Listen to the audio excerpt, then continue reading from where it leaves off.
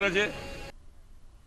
આગામી છવ્વીસ જાન્યુઆરીએ દિલ્હીના લાલ કિલ્લા પર થનારા ધ્વજવંદન અને રિપબ્લિક ડેની પરેડ અમદાવાદની ડીપીએસ સ્કૂલની ધોરણ અગિયારની વિદ્યાર્થીની પ્રાચી માટે યાદગાર બની રહેવાની છે કારણ કે પ્રાચી આ પરેડ પીએમ બોક્સમાં બેસીને નિહાળશે દેશભરમાંથી સિલેક્ટ કરવામાં આવેલા પચાસ બાળકોમાં પ્રાચીનો સમાવેશ થયો છે પ્રાચીને આ મોકો મળતા તેના પરિવારમાં પણ ખુશી છે ગત વર્ષે સીબીએસઈ દ્વારા લેવાયેલ ધોરણ દસની બોર્ડની પરીક્ષામાં પાંચસોમાંથી પ્રાચીએ ચારસો નવ્વાણું માર્ક્સ મેળવ્યા છે તો પ્રાચી આ બોર્ડ એક્ઝામમાં ટોપર રહી હતી government of India education department of school education and literacy તરફથી પ્રાચીને દિલ્હીનું આમંત્રણ મળ્યું છે તો આગામી પચીસથી સત્યાવીસ તારીખ સુધી તેમના માટે તમામ વ્યવસ્થા પણ કરાઈ છે પ્રાચીએ આ અંગે જણાવ્યું છે કે છવ્વીસ જાન્યુઆરીની આ પરેડમાં જવા માટે તે પણ આતુર છે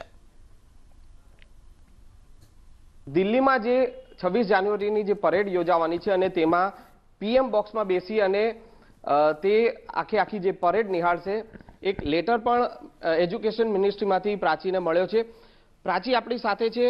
અ, પ્રાચી પાસેથી જાણીશું અ, क्या कहेंगे अ, जिस प्रकार से जो एजुकेशन मिनिस्ट्री में से लेटर आया है और पीएम बॉक्स में बैठ के आपको मौका मिलेगा अ, जो 26 जनवरी की परेड देखने का क्या है हमें मिनिस्ट्री ऑफ़ एजुकेशन ने बुलाया है इनवाइट किया है। वो पीएम बॉक्स जो रहता है उसमें बैठ के जो 26 जनवरी की परेड है वो देखेंगे हम।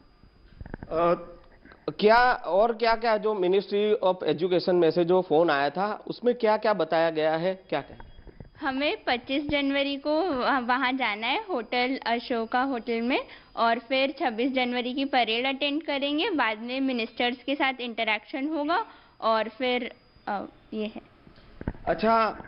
आप जैसे 50 बच्चे हैं उनको ऐसा मौका मिलता है इंडिया में से वो चुने जाते हैं कैसे सिलेक्शन होता है? क्या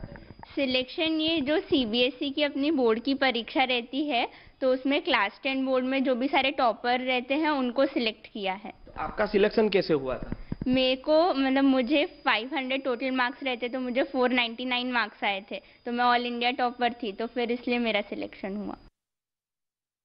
ये इसका टेंथ बोर्ड के बेसिस पे हुआ है। इसको टेंथ में इसने सीबीएसई टॉपर्स में इसका नाम था। तो वहाँ से फिर मिनिस्ट्री ऑफ़ एजुकेशन से हमें ऐसा लेटर आया कि जो 50 मेरिटोरियस स्टूडेंट हैं उनको पीएम बॉक्स में बैठ के ये रिपब्लिक डे परेड देखने का मौका मिला है।